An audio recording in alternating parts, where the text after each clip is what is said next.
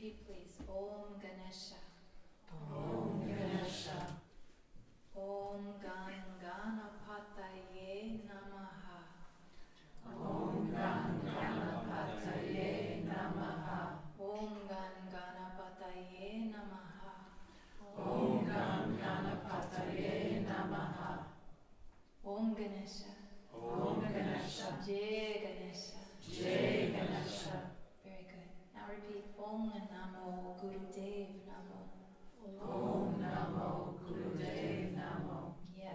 you may hear it like Om, but I'm going to ask you pronounce O N G.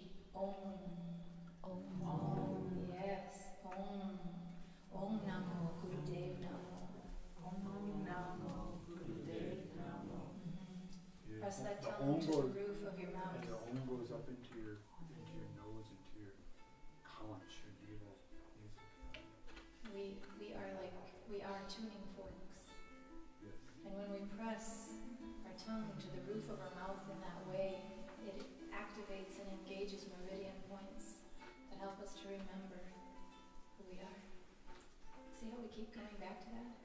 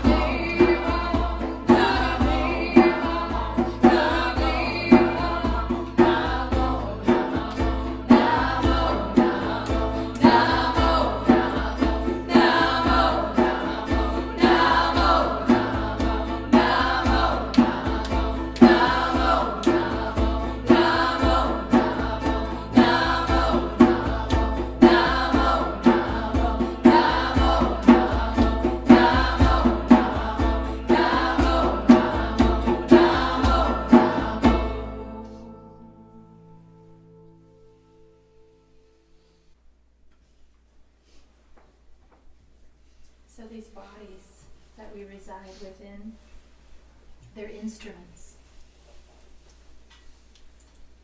And just like any instrument, fine tuning is a good thing. And there's lots of ways that we can fine tune. And one of the ways that we can fine tune these instruments is to chant mantras. Mantras tune the instrument of our beingness.